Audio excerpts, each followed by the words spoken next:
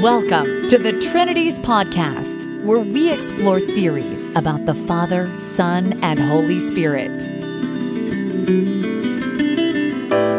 Do you love God enough to think about Him?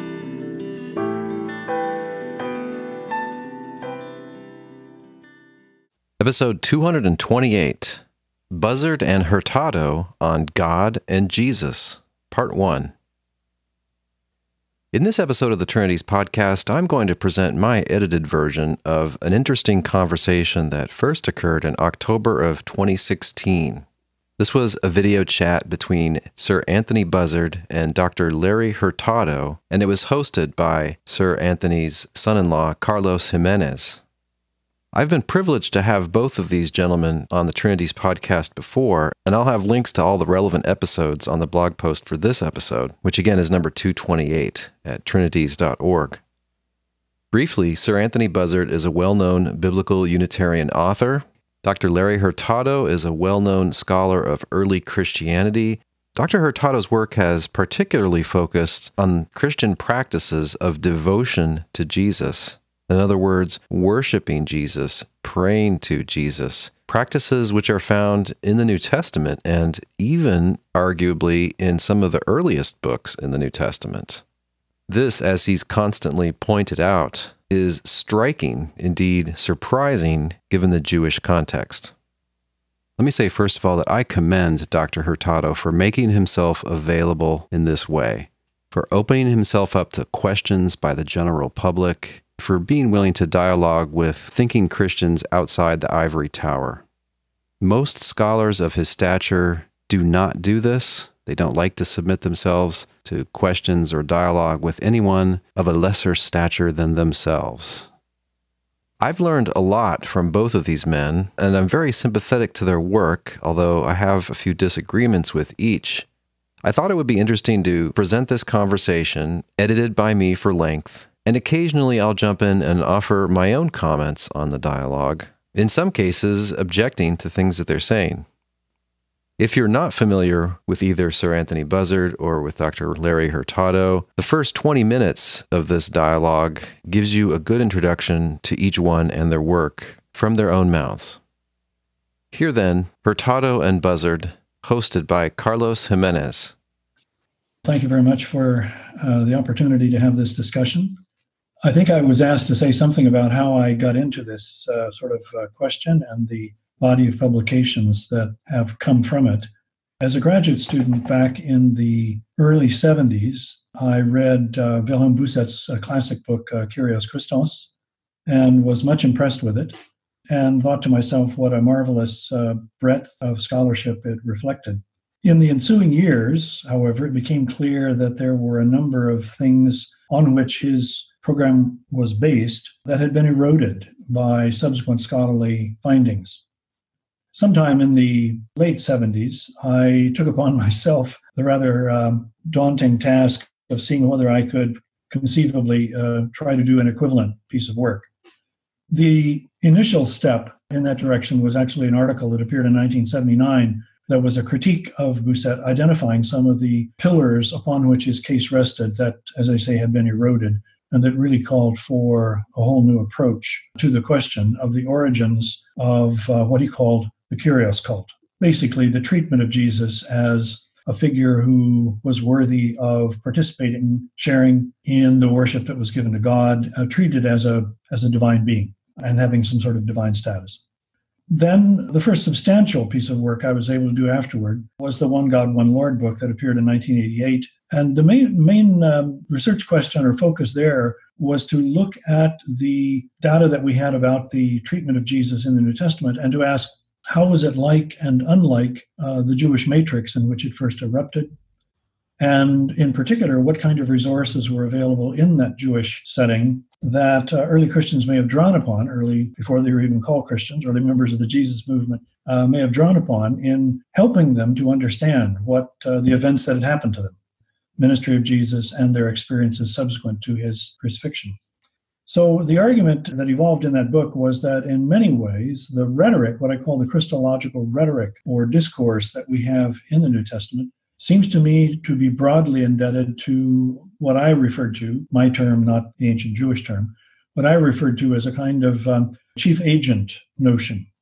Uh, various Jewish texts of the Second Temple period feature sometimes a principal angel, sometimes a great figure from the past, who is posited as exalted above all of the rest of God's entourage and acting in God's name in a very direct kind of way, as God's executive, you might say, uh, executing redemption, such as the Melchizedek figure of the Qumran text, 11q Melchizedek, for example.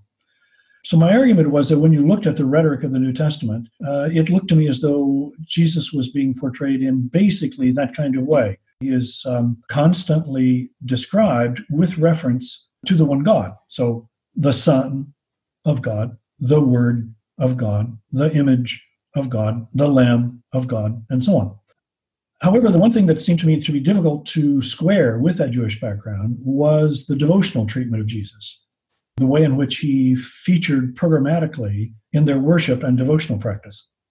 Uh, because it seemed to me that the evidence of, again, that same body of Second Temple Jewish texts was very firmly that even such exalted figures as Melchizedek or Messiah figures or angel figures were not to be given this kind of worship. Were not to, they thought of it as, in some sense, almost compromising the uniqueness of God, it seems. And as Richard Bauckham showed in an essay that appeared in the 80s, uh, you actually have several Jewish texts in which an angelic figure appears to give a revelation to a human figure the human figure, it appears confused, thinking that this may be God himself, starts to offer the angel figure worship, and the angel very firmly forbids it, saying, Do not do this, worship only God. In contrast to that, the New Testament picture showed uh, a fairly, as I say, programmatic, fairly ready inclusion of Jesus along with God as recipient of cultic devotion in an unprecedented way. So my argument was that that is the really distinctive uh, what I call distinctive mutation in Jewish devotional practice. And I focused on devotional practice rather than Christology as such, because it seemed to me that it was in the area of religious practice where we saw the most significant, uh, in historical terms, the most significant uh, developments. Subsequently, uh, my, my larger plan was to do something along the lines of Bousset, but it wound up taking much longer than I thought. Bousset was able to do it by his early 50s, uh, I'm not nearly as smart or as um, as well read as he, and it took me much longer to to do it. So over the course of the ensuing years, I chipped away at it with various pieces, including a little book entitled At the Origins of Christian Worship, which focused very much on looking at Christian worship in its not only Jewish but Greco Roman context, and uh, various uh, essays and articles in journals and reference works, uh, as I say, chipping away at this or that problem, including an essay on the Philippians 2 passage, the famous so called Christ hymn, a treatment of key terms such as Son of God, Lord, and Christ in New Testament writings. And uh, eventually, after a, a, lengthy sabbatical granted to me here, uh, was able to produce then what was for me the, um, the magnum opus on this subject, the Lord Jesus Christ book, which appeared in 2003, and was my attempt to try to do a kind of diachronic study of um, the way in which Jesus featured in early Christian practice and, uh, uh, and, and belief from the beginnings of Christianity down through to Justin Martyr. That was sort of the, finally my attempt to try to come up with something that would uh, be my best effort at emulating the uh, size and depth and quality of what Bousset had done. The little book that appeared later, um, How on Earth Did Jesus Become a God, appeared a couple of years later in 2005 and it emerged from a set of lectures I was invited to give in Israel at Beersheba. And uh, that was the title of those lectures How on Earth Did Jesus Become a God? And that became the basis of, of the title of that book. And it incorporates the lectures that I gave, plus some of those articles that had appeared in the meantime in the back of that book. So those uh, comprise the major contributions. And all along, as I would emphasize, the, the questions that I've had are primarily historical questions. That is, what went on? What did early Christians do and say about Jesus? How did it have an impact on their devotional practice, their lived religious practice? Because I've always been interested not simply in the world of uh, ideas or thoughts or doctrines, but in the actual practice of religion. And so it's basically been questions about um, what did Christians do with regard to the figure of Jesus? And can we, in historical terms, try to understand what may have shaped, prompted, and driven these developments? So, one of the things that I laid out early on in the One God, One Lord book, and then returned to a couple of times because I got a lot of static over it, was the proposal that there were various factors that uh, collided to generate the shape of early Christian devotion. The figure of Jesus himself and his ministry and its impact upon people, of course, the nature of ancient Jewish monotheism, with its emphasis on cultic exclusivity and only one God to the exclusion of other gods, the larger religious environment, uh, which also shaped early Christian devotion, largely, in my view, in reaction against features of the larger pagan world, but even in reacting against something, you're being shaped by it. So that was a factor. And then, perhaps most controversially, uh, my argument that early Christians experienced what they took to be new divine revelations, which communicated to them the conviction that God had exalted Jesus to heavenly glory, shared with him the divine name, the divine throne, the divine glory, and that it was God's will for Jesus to be reverenced accordingly and included in uh, the worship practice of early Christian circles. As I say, I laid that argument out briefly first in the One God, One Lord book, later returned to it to defend and expand it and try to root it more firmly in wider kind of phenomenology of religion, history of religion work in an essay that appeared in the Journal of Religion in uh, 1999, and which is included in the uh, How on Earth Did Jesus Become a God book. And then more recently in an article that appeared in, in Expository uh, Times, a lecture I was asked to give at Rice University, again, returning to the question of religious experience and religious innovation. That is basically, uh, I suppose, a potted history of how I got into this and how I've, um, and the kind of questions that I've tried to answer. And a very interesting potted history it was. Just a few general comments that might be helpful to people first coming to Hurtado. One is that when it comes to the worship of Jesus, he focuses solidly on what he calls cultic worship. This is communal religious worship done in a regular religious meeting. And so it's not just any kind of honor, not just any kind of praise. Another thing to know is that he's part of what people have called the early high Christology club. This was a reaction against and a rejection of the assumption that had guided some earlier scholars that Christology must have developed slowly and that it was when the Gentiles came in that they started to regard Jesus as a god, or at any rate, divine in some way and worthy of worship. Hurtado has been one of a number of scholars rejecting that, and he points out that you see Jesus worshipped even in the writings of Paul, which are from the 50s and the early 60s. Also, notice that Dr. Hurtado's interest is historical, and this is really the value of his work that it involves sober, careful historical reasoning. I've found that often he's reticent to draw too many theological conclusions from these historical points. However, many consumers of his work, particularly in the American evangelical realm, draw a lot of Christological conclusions. In their mind, high Christology is that Jesus is God or that Jesus is fully divine. And they will cite Dr. Hurtado discussing the early worship of Jesus. However, as we'll discuss later, it's not clear that his work does really support that sort of argument.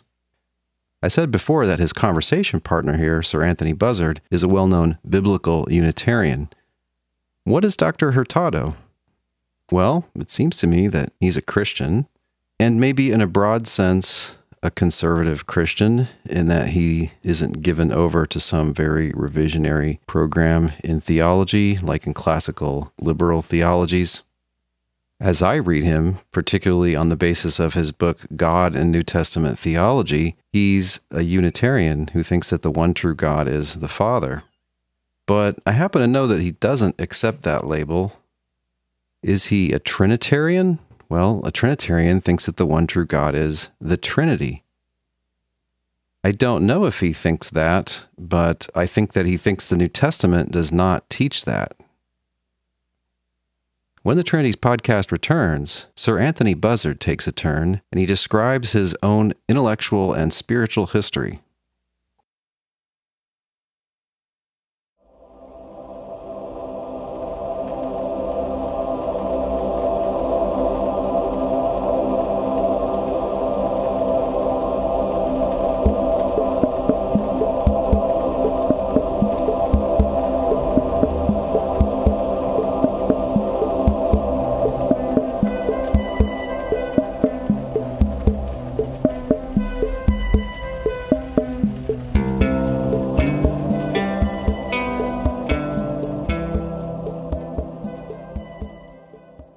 Thank you so much. You obviously find this whole subject riveting, as I do. And I'm a Church of England boy. Sat in church faithfully every Sunday as I grew up. Went to a boarding school where we went to chapel every Sunday and church every day. And at the end of it, I can honestly say I didn't know anything about the Bible. Now, I must qualify that by saying maybe I wasn't listening, but I don't think the clergy understood any of these, what I would think are critically important issues. These are not academic things. You said it so well when you talked about what drove them in their living the Christian faith. The doctrines, so called, have been separated in the minds of some from the practical living. I think that's an impossible dichotomy the truth of Scripture for me is what drives our lives, and one without the other, i.e., doctrine, sometimes thought of as boring, divisive doctrine, as distinct from Christian living, that's a fatal dichotomy. I don't think the Bible works that way at all. So, going up to Oxford, I was taken to a Get Saved meeting, which is a new phenomenon in my life. And I went back to my room at Oxford about 1955 uh, or so. And I said, What does this mean? And I spent the rest of my career trying to unravel that fascinating subject. And the thing that strikes me is this mass chaos out there. Whereas Paul in 1 Corinthians 1 says, I wish above all things, brothers and sisters, that you all say the same thing, you'd be perfectly united in one mind. We're evidently not there. So this is the sort of subject that I've found myself in. I was published in the Evangelical Quarterly by Howard Marshall uh, way back on the issue of the kingdom of God in Acts 1 6 and also the kingdom of God generally. That's my parallel passion, along with the Christology and the theological issues the nature of the kingdom to come. And I see the nations beating their swords into plowshares one day, which in our present state of affairs is a very, very welcome and I think enthralling idea. Another subject, however. So I've written a couple of books. One was uh, The Doctrine of the Trinity, Christianity's Self-Inflicted Wound, and that was, I think, 1998. And later on, a second book, Jesus Was Not a Trinitarian. I was tempted to put in that title, Jesus Was Not a Trinitarian, Why Are You? but I think my friends felt that was a little bit too aggressive, so we left that out. But I approached this from a very simple, I hope not simplistic position. I don't think any of what we're discussing was that problematic for the writers of the New Testament. They recited the Shema. Why would they do that? Well, guess what? Jesus did. When Jesus was asked, What is the greatest of all the commandments in Mark 12 29, with a friendly Jew on this occasion, he simply recites what we know to be the core affirmation of Israel in your commentary, you nicely say this is a pre Christian creed. Of course it is. Jesus is not innovating here. The God of Jesus is the God of the Jews, is the God of Israel, is the God of Abraham and Isaac and Jacob. That should, I think, be taken as absolutely given in any discussion. It's not because of what later happened beyond New Testament times, where the church fathers, from my perception, as far as I understand it as of today, until you correct us if, if need be, the church fathers didn't do us any good they went in a different direction and they turned that Shema into something which Jesus probably wouldn't have recognized. But that's another side of the subject. So, with Jesus promoting the Shema, I noticed that Messiah Jesus brilliantly went on to say in Mark 12 35, now what about Psalm 110.1?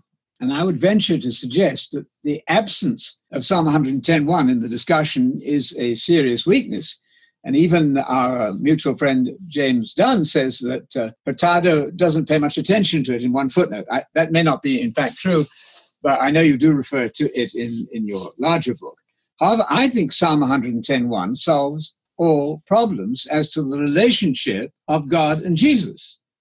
Almost as though Messiah Jesus anticipated that they would turn him into a God. I like the title of your book, and much worse, turn him into God. So he's now Yahweh, co equal with the Father in the minds of many. That cannot be right. And we're so thrilled to have giants in the field like yourself and uh, James Dunn and McGrath really saying what Unitarians have said from their much simpler uh, Unitarian position. That's not Universalist Unitarian, but what we would call Biblical Unitarian since the 1850s immediately. The Adventists, not Seventh day Adventists, but the Adventist movement then came up with this rather easy notion that when Jesus said God, he meant the Father. Now, that's a statistic that's hard to resist because 1,300 plus times the Father obviously means God and obviously doesn't mean anything like a Trinity. You don't find God meaning a triune God in Scripture. Well, that's rather startling. So I begin from that premise and looking at that, then, ho theos, is this so hard? Jesus said the greatest of all the commandments is the Shema. I think the Shema, and I find you saying this constantly, I find McGrath saying it constantly. I find James Dunn saying it beautifully. And if I read at least some of Tom Wright, he seems to vary, but mostly he says the citation of the Shema is absolutely non controversial. I think that's right. I don't think the Jews were mistaken about God being one unitary monotheistic person. My cousin, my mother's first cousin, actually, J.A.T. Robinson, in the 80s, and I was very inexperienced in the subject way back then, but he was writing to James Dunn, an article called Dunn on John, D U N N, Dunn on John in the Theology magazine in the 80s. And my cousin J.A.T. Robinson was attempting to show that if you take John's gospel, even, there's no Trinity there the unitary monotheism, J.A.T. Robinson says in many of his books, is simply the Jewish idea of God, and every New Testament writer is equally at one on that simple idea. With Psalm 110.1, following immediately upon Jesus' statement of the Shema, there are two Lords there. So may I suggest that an equivocation on the word Lord is bedeviling our whole topic? It needn't be. Nobody thought the Lord God was the Lord Messiah. Luke didn't.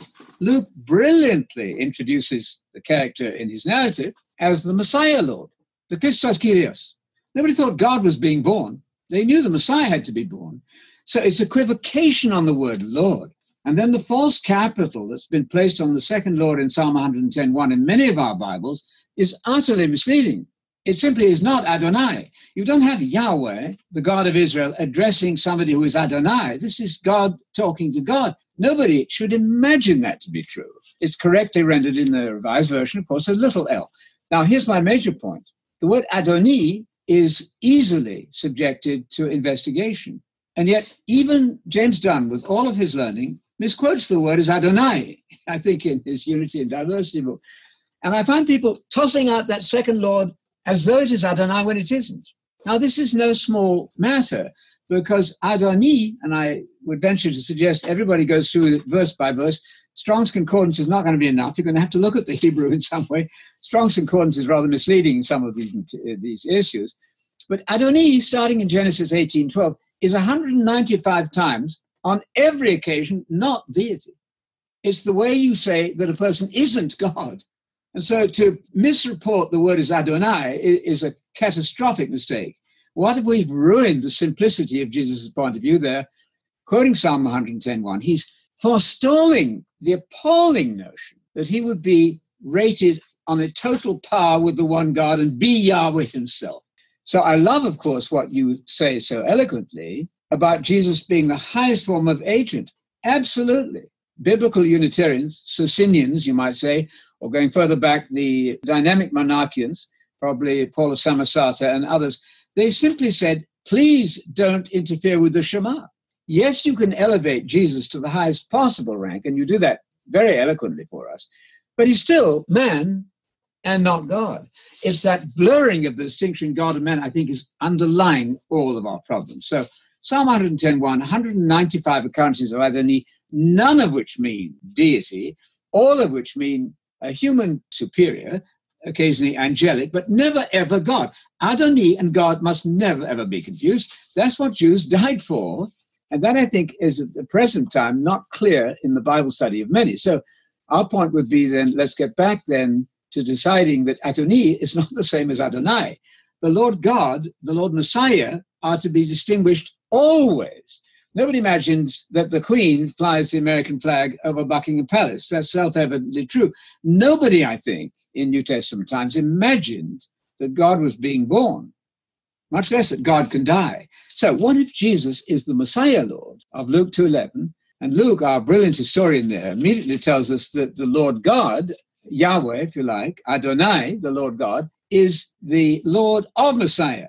Jesus is the Lord God's Messiah that's a perfectly good expression from Samuel and Kings, where Saul and, uh, and other kings were exactly the Lord's Messiah. So you have a clear distinction between the Lord's Messiah in 226 of Luke and Luke 211, where he is the Messiah Lord.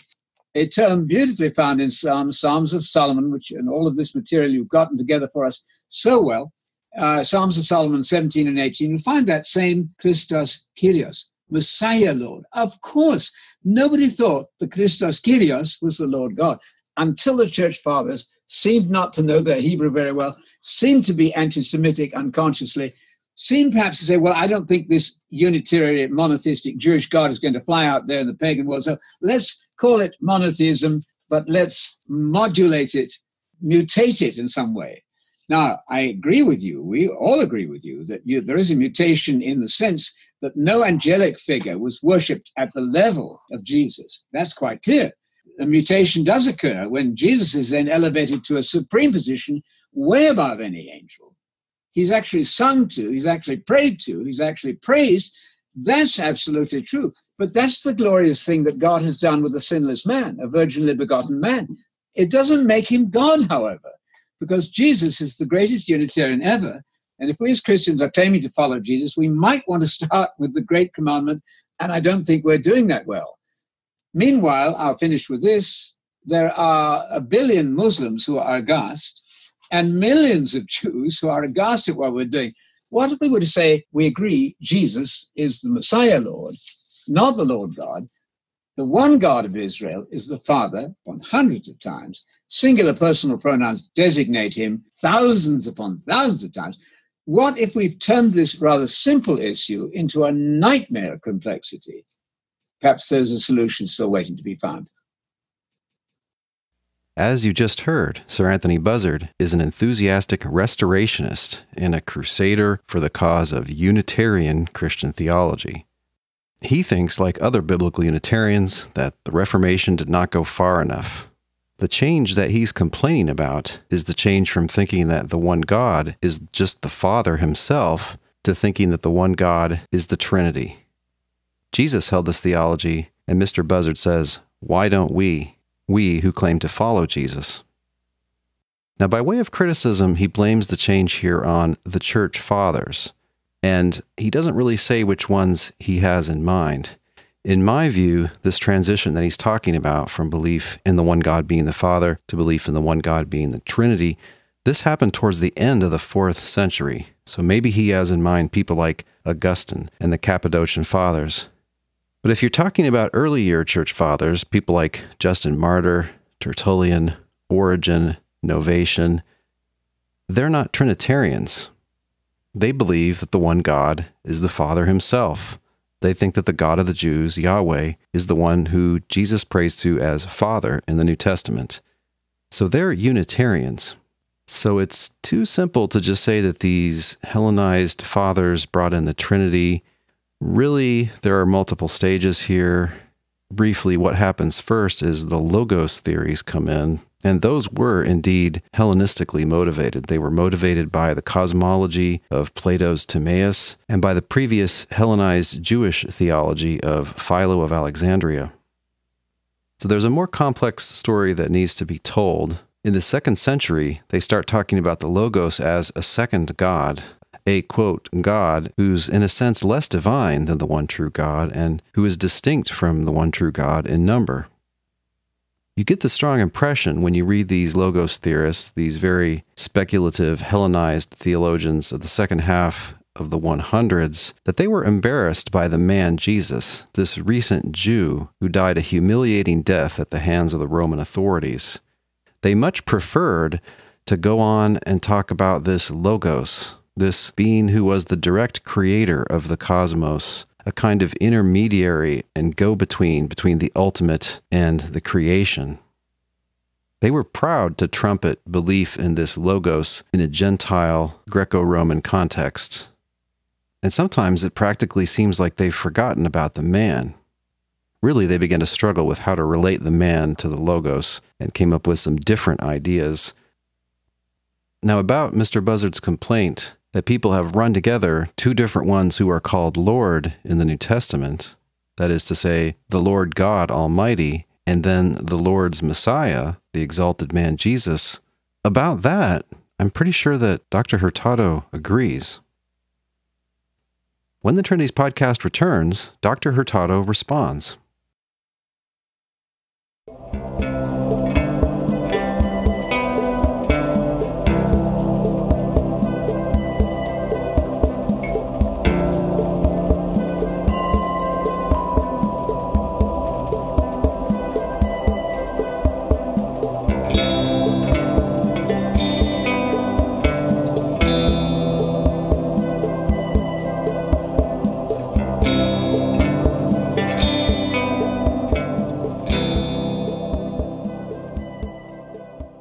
I take your point in a number of things, uh, and uh, I don't think it's a it's a an entire disagreement, but I'm not sure that it's an entire agreement either. You know, some of my sharpest uh, disagreements have been with James McGrath and with James Dunn on some points. Uh, your reference to the to Jesus' statement about the Shema, certainly the Gospels report Jesus as acting as a devout Jew, and when asked what is the greatest commandment, he, he does what any devout Jew ought to do. Point I would make, though, is that the Christological claims that are made about Jesus in the New Testament and the attendant devotional practice that we see attested and reflected as early as Paul's letters, already taken for granted. In both cases, these Christological claims and this devotional practice rest primarily upon what God has done uh, about Jesus, not what Jesus claimed for himself. Obviously, the claims of Jesus were significant, but as you will know, scholars find it difficult to be sure that even during Jesus' own ministry that he actually claimed to be Messiah. Uh, it's hard to find overt references to that. I personally think it's quite likely that his disciples expected that he would be made Messiah, that he would be vindicated at some point and made Messiah. But in any case, Messiah, of course, doesn't justify the, the massively inflated Christological claims that we have in the New Testament and the consequent devotional practice that we see. Instead, they claim God has raised Jesus from the dead in their language. God has exalted him to heavenly glory. God has given him the divine name, the divine glory, as I've said, uh, sharing the divine throne, and he is to be reverenced accordingly in a sense, when you say Jesus never claimed to be divine or any such claim, such as we have reflected in Paul, uh, that's both true, but with respect, irrelevant, it seems to me. It's a red herring. Because the early Christian Christology that we have in the New Testament is primarily based on claims about what God has done, what God has said, and what God requires. I grant you that that means still, in my view, that still means that Jesus' divine status is expressed with reference to God the Father, with reference to the action of God. Uh, he, he's not an independent deity, he's not a second deity. His divine status, which uh, justifies him being worshiped and, and glorified with the Father, is attributable to God, God the Father in their language, God's action. The closeness of the way in which they feature in the discourse that we have in the New Testament, already in Paul, is, it seems to me, reflected in a particular kind of uh, peculiarity that we have already in Paul. And that is, and you've already alluded to it, that in Paul, very often uh, God is referred to as God the Father and Jesus the Son. The intensification and proliferation of Father language for God is, it seems to me, a direct corollary or consequence of the notion that God had exalted Jesus to be the unique Son, who shares, in some sense, rightfully in divine glory. And therefore, in order to distinguish the two, which they're always wanting to do, God is very often referred to simply, as you say, as Ho Theos, but very often also as God the Father, as in Paul's letter openings, God the Father and our Lord Jesus Christ. I think I, I would also hesitate over two other points. You talk about the, the later church fathers in, it seems to me again, a, a bit of an unfair way. I mean, I don't think they got up in the morning with the intention of being difficult. I don't think they got up in the morning and said, now we must make a bunch of complicated, crazy ideas in order to make later theologians scratch their foreheads. They were trying to work with honest questions that were pressing them at the time. I don't think they manufactured these questions, they were on the table. Arthur Wainwright once put it the doctrine of the Trinity comes later, but the problem that the doctrine of the Trinity addresses is already there in the New Testament. We have a problem. And that problem, so to speak, or datum, is what I've described in the little 2010 book, God and New Testament Theology. We have what I referred to there as a distinctively triadic shaped discourse about God and a distinctively dyadic shaped devotional practice. That is, the incorporation of Jesus programmatically as recipient of devotion has no parallel or precedent in the Jewish background. And so, subsequently, as Christian theologians from the late second century onward began trying to articulate their faith in language that the philosophical environment of the time could appreciate, engaging their intellectual world, just as every theologian should try to do. They tried to do it. The categories they were working with involved categories of divine essence, divine being. And so they had to ask themselves questions. Well, is Jesus of the same essence or being as God the Father, or is it a different essence or being? Because on the one hand, we distinguish the two. On the other hand, we incorporate Jesus as recipient of worship in the way in which God alone is supposed to receive. So this was essentially the problem how to deal with that. Now, various theologians of the second, third, and on into the fourth century came at it in different directions and proposed different solutions. We may or may not like how Nicaea came down on the issue, but they weren't trying to be difficult and they weren't trying to, I don't really even think trying to be anti Semitic. Sorry from what you said. I think they were trying honestly to solve problems as best they could. Now, they were human beings, and so they fought with each other, they slandered each other, they exaggerated what each other said. They did all the stuff that you do in theological refutation, unfortunately. Uh, and so we have a lot of distortion and a lot of overreaction. But I guess I would want to say that um, in the midst of all that, they were working with some real problems, some real questions, and they tried the best they could to solve them.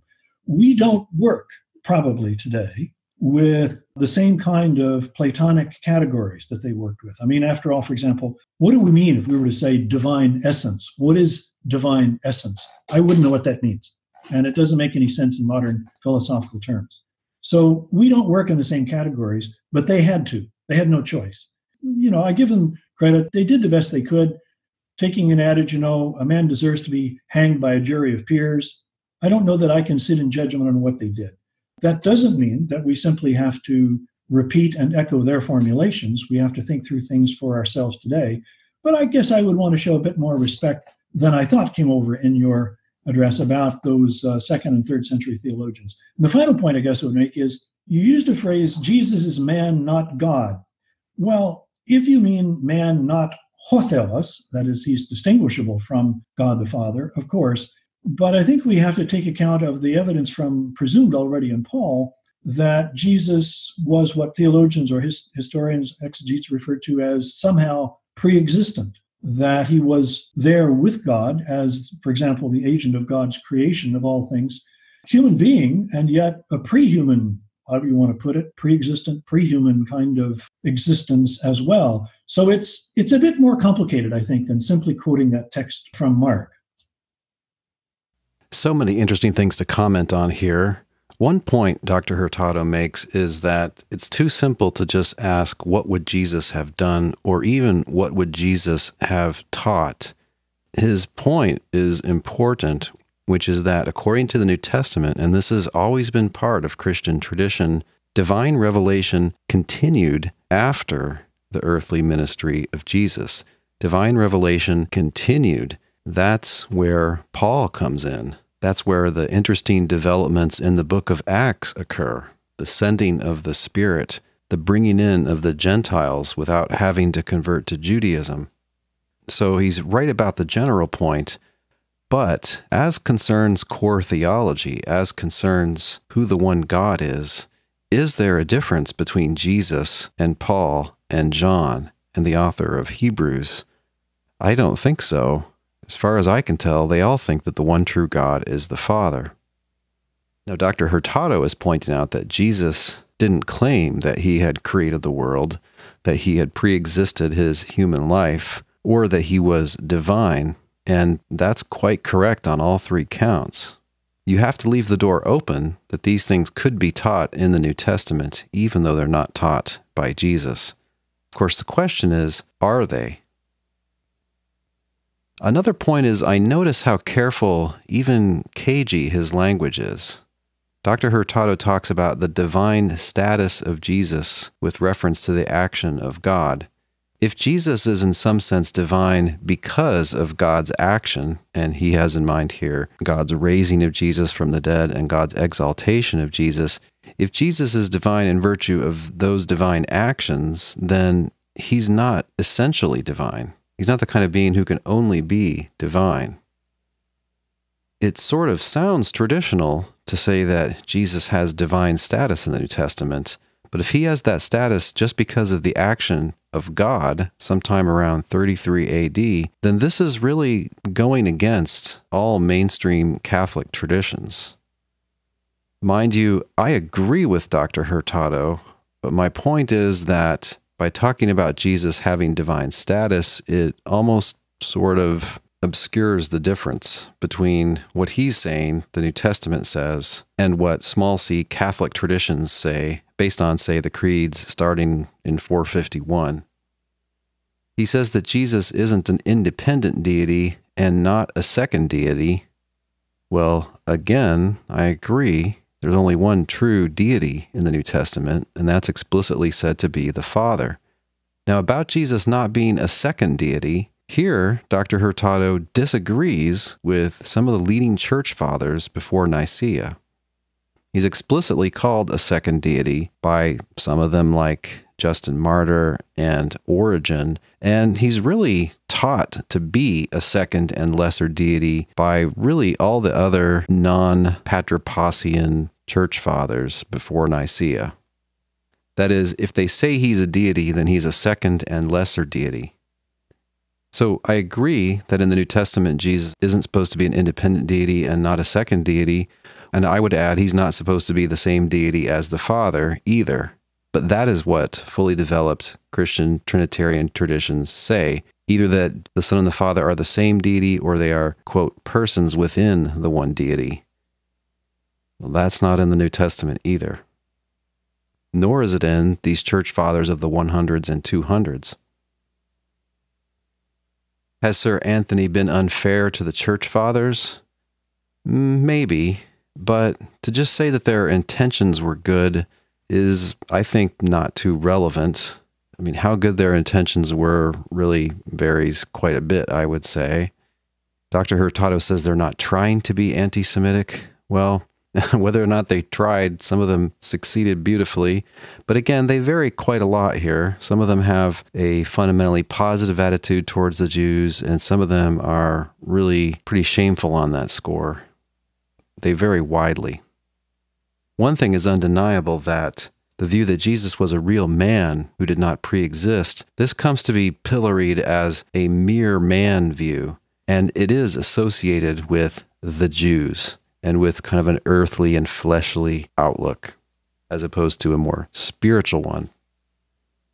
Finally, there are a couple of assumptions that have become popular in contemporary theology, and I don't really know how they became popular, but I think they're not true. And I think these are assumptions that were passed on to Dr. Hurtado in his education somewhere, maybe in graduate school, and maybe he hasn't examined them as much as he should.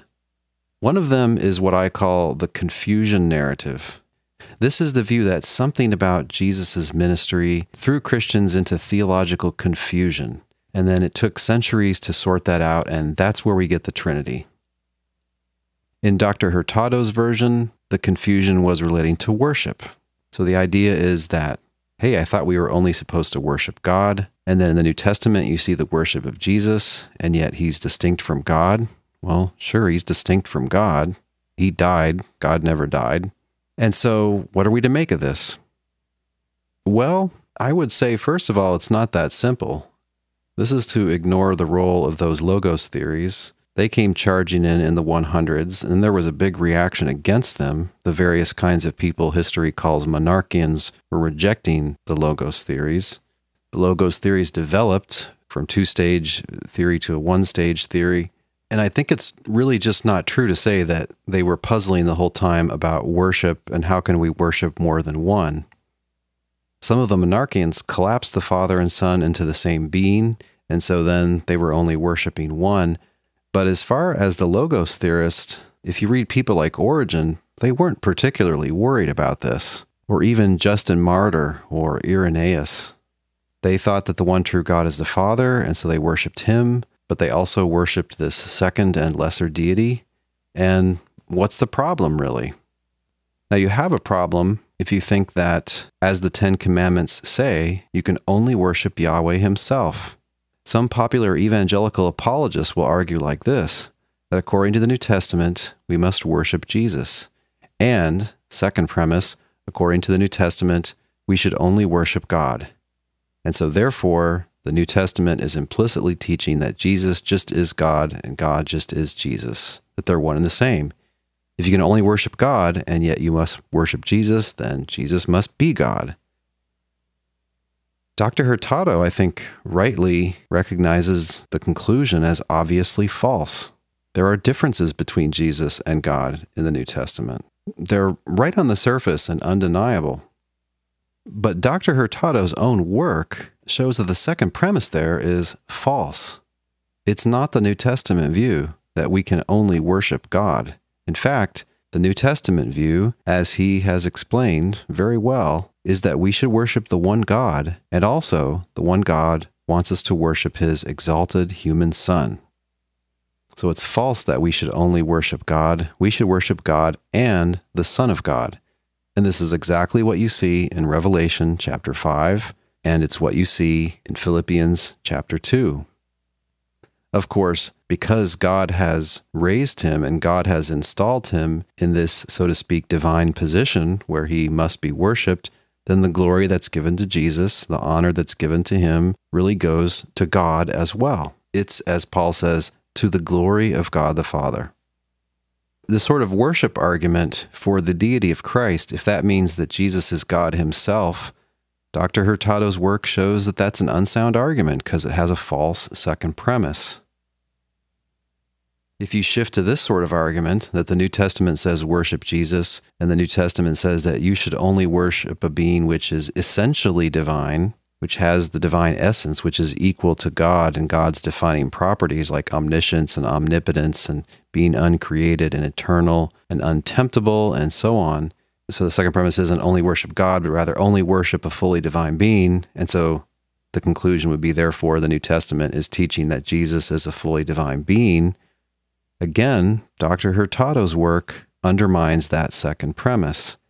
The New Testament doesn't say that Jesus should be worshiped because he has the divine essence or because he has all the defining features that God has. Rather, it says that Jesus should be worshiped because this is God's will, that we should worship Jesus and not only God. The way we know it's God's will is because God has raised and exalted him. Now, as to the confusion narrative generally, I don't think it's true. I don't see any confusion in the New Testament. They're not worried about how Jesus relates to God. They firmly think that Jesus is a real man, descended from David, miraculously born, killed, then raised from the dead by God, and exalted by God to a high position as the one Lord under the one God. That's the New Testament view they're not worrying about whether there are multiple persons in God. That idea really comes in quite late. It comes in the fourth century, really. I recommend my podcast 189 if you think the New Testament writers are confused about sort of how many persons God is.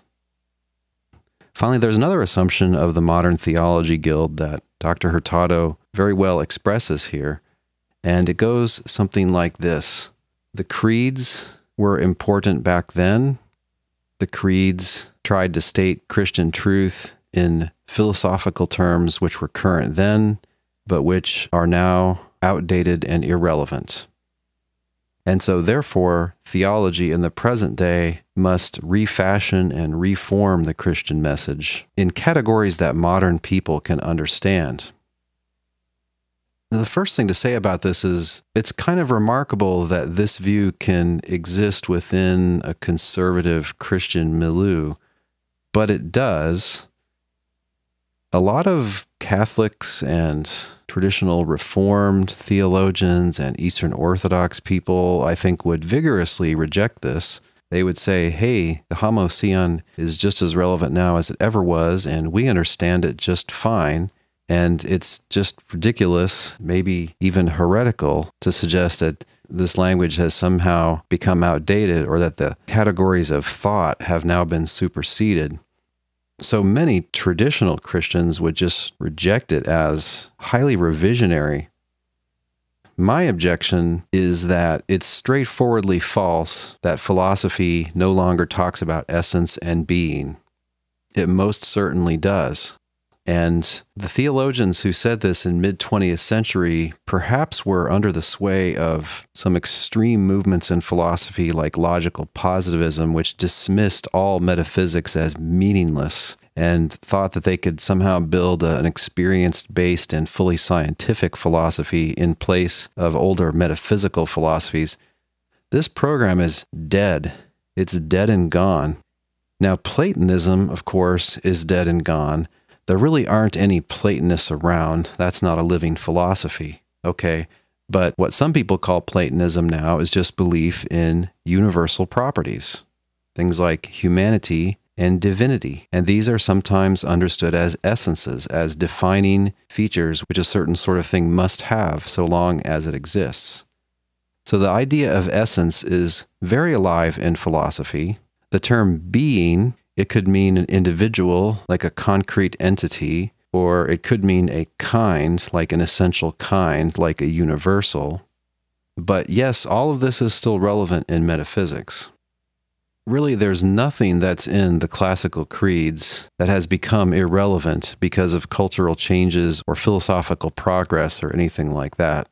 That's why you have analytic philosopher theologians like Dr. Tim Pawl of the University of St. Thomas in Minnesota defending the traditional Catholic views about Christology, about Christ having a human nature and a divine nature. And this is why you have a number of brilliant philosophers like Richard Swinburne, William Hasker, Peter Van Inwagen, Michael Rea, and Brian Leftow you have people like this taking the creedal Trinitarian language and trying to make literal sense out of it. They try to interpret what the divine nature is supposed to be. They try to interpret what the persons of the Trinity are supposed to be. And never do they say, well, we all know that's an obviously mistaken and outdated notion. Things can be outdated in philosophy sometimes, but uh, it's harder to make things go the way of the dodo in philosophy. Things like the idea of an individual being or a concrete being, the idea of an individual property or a universal property or defining essence, which consists of properties. These core ideas haven't gone away and probably never are going to go away. When the Trinities podcast returns, Sir Anthony Buzzard responds to Dr. Hurtado's last statements.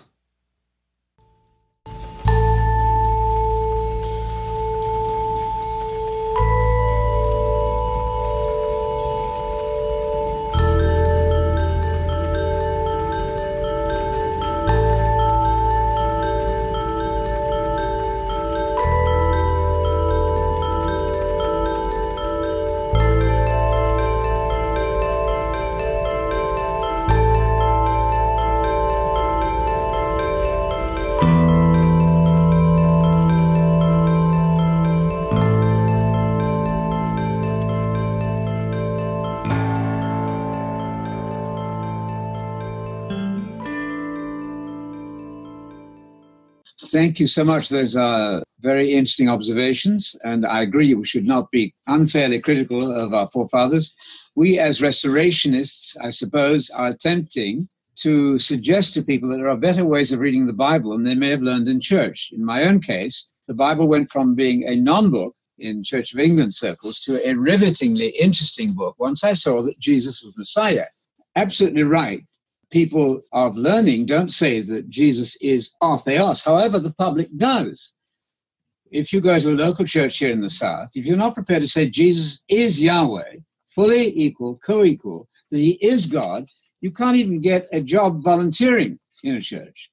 I want to put an end to that. I'm not happy that Calvin would have burned one of our colleagues at the stake. So part of my anger, my frustration, if you like, not anger, that's too strong, is that we really don't need to be that obtuse about who God and Jesus are. So, if I may just go back to the one of the points you made, absolutely unprecedented exaltation. That's a new thing. It's a mutation, if you like, in reference to previous exaltations of angels and so on. That's quite clear. This is absolutely brand new. However, it falls short of making him co equal, co eternal God, which is what the Trinity eventually did. That's what I object to. That antagonizes Muslims and Jews, I think, quite unnecessarily, and it doesn't really fit in with the strongly unitary monotheistic terminology of Scripture. Part of the problem in these discussions is, is if I may say, the fog language. What in the, uh, what in the world is meant by the veneration of Jesus? We must be clear. if we're talking about worshiping Jesus as God, fully God, Yahweh, I think we're both against that. So I would only suggest that in the Bible, you don't define who somebody is by the verb that's used in his direction. You don't say, as many do, they haven't had the opportunity of learning this correctly. Many say, well, Jesus is worshipped, therefore he's God. That is simply false because they haven't studied their Hebrew Bible. They haven't looked at that wonderful Hebrew word shacha and seen that Bathsheba worshipped her, her son. They haven't seen that Saul was worshipped. They haven't seen that other figures were worshipped. That's a fundamentally muddling, indistinct failure, I think, of simple language. So you cannot say, well, Jesus is worshipped, therefore he's God. Jesus walked on water, therefore he's God. Our colleague here, Kirk, did so well when he said that Peter was divine, and there's another fog word, he was divine for a few minutes walking on water. This is simply a muddle. No, we define God as the one God, the Father, 1,300 times, the God, as Bishop Wright says so nicely, with a polemic edge on it, theos. Once we say that, and I, you appear to be saying that very nicely for us, then we must decide who Jesus is. He's exalted to a level that is unprecedented. Therefore, he is sung to, he's worshipped as the Messiah, but not as God. That is to undo, I think, the thing that Jews, Akiba notably, died for. We don't need to do that. It's so easy and simple for children to understand that God is one person. When you say once you say he's three persons in one God, then we're into all of that muddle.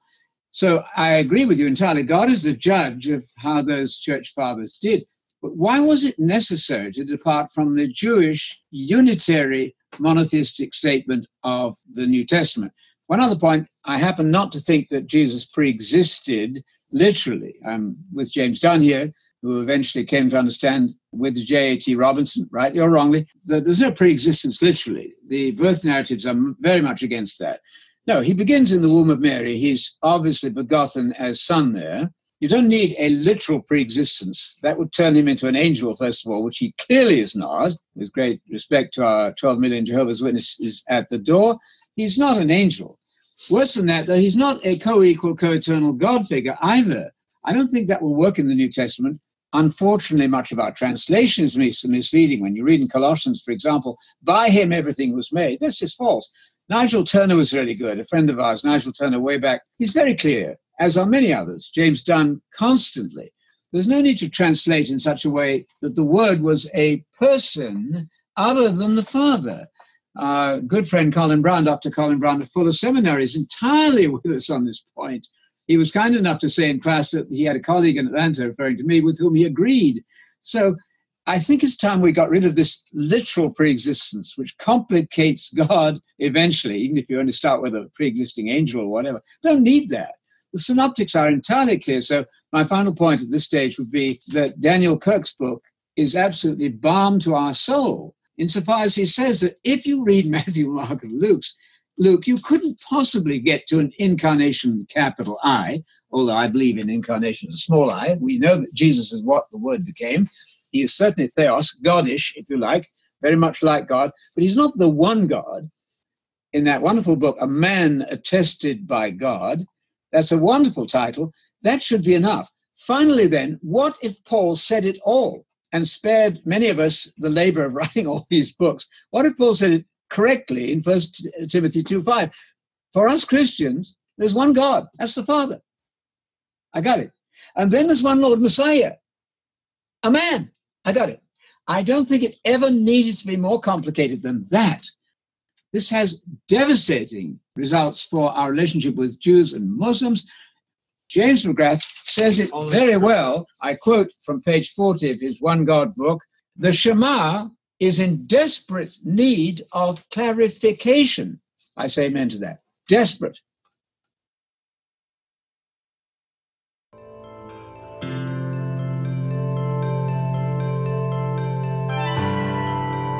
Next week, we hear the rest of this dialogue, starting off with Dr. Hurtado's response to what we just heard. If you can't wait for next week, you can view the original video. It's linked on the blog post for this podcast, episode 228. There's also a link there for the YouTube channel of the Restoration Fellowship. That's the house church and organization founded by Sir Anthony Buzzard and his wife, Lady Barbara Buzzard, and attended by Carlos and others. And we've also got links for Dr. Hurtado's blog and previous podcast episodes featuring interviews with him.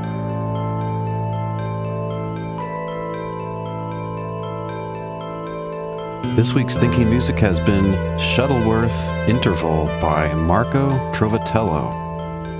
As always, there's a link on the blog post for this episode where you can listen to or download the entire track.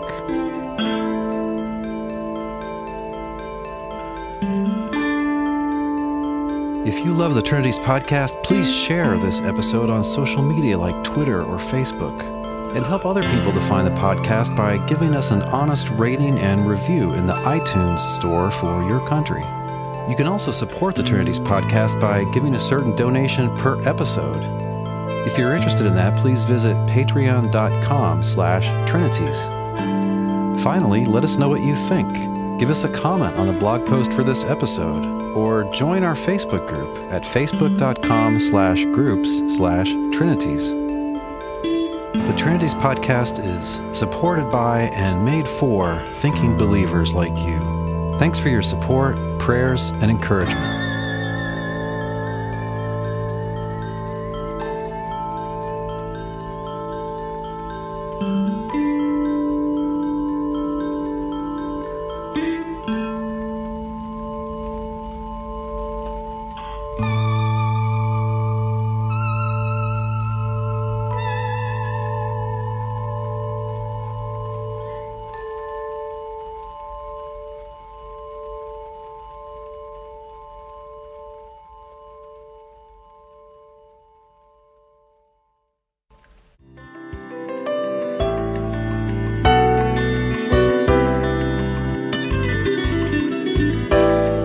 Listening. We'll see you online at trinities.org.